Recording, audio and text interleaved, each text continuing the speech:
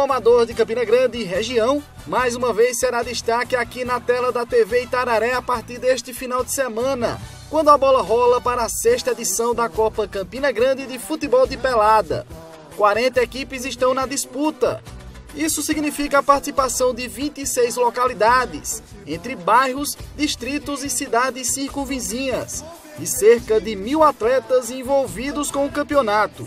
Isso nos deixa bastante satisfeitos, é sinal de que o nosso trabalho é bem aceito pelo, pelo meio do futebol amador, né? o futebol de pelada, como é mais conhecido, e só engrandece o evento de uma forma geral, né? tanto para a TV, que não é nossa parceira transmitindo, como para a prefeitura que promove o evento e principalmente para os clubes participantes.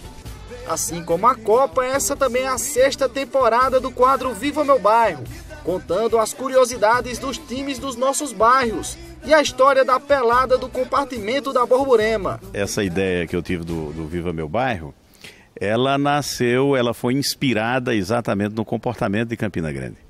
Campina Grande foi capaz de aglutinar todo o Nordeste em torno dela. Então foi uma, uma capacidade extraordinária que Campina vem transferindo para o seu povo. Esse espírito de integração, de harmonia, de confraternização, de conhecimento da nossa história, de divulgação da nossa cultura. Então esse quadro ele faz parte de toda a história de Campina Grande. Apenas nós agregamos ao futebol de pelada, que já é uma coisa do calendário esportivo cultural e social de Campina Grande, nós enquadramos ele nesse no, no, no, futebol de pelada, exatamente porque o esporte também tem essa capacidade de aglutinar as pessoas. Este ano, o telespectador vai poder conhecer um pouco mais sobre equipes que vão disputar pela primeira vez a competição e atletas que já fizeram história no futebol paraibano, aumentando ainda mais o nível da Copa.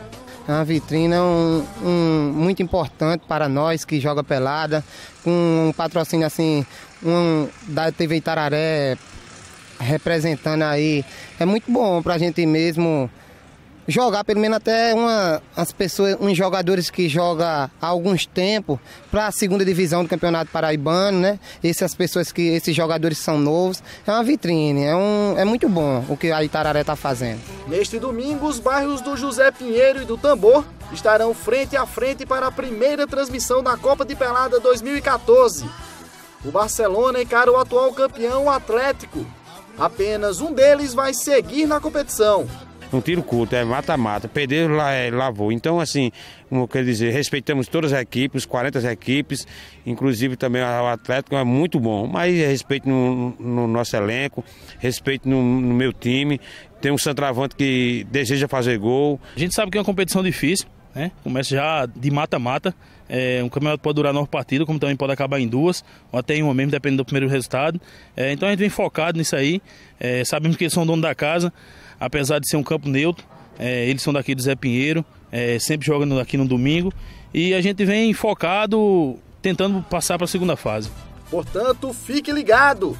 Todas as sextas-feiras e nas transmissões dos jogos aos domingos, o Viva Meu Bairro entrará na sua TV, trazendo muita informação e diversão até dezembro. Que lindo!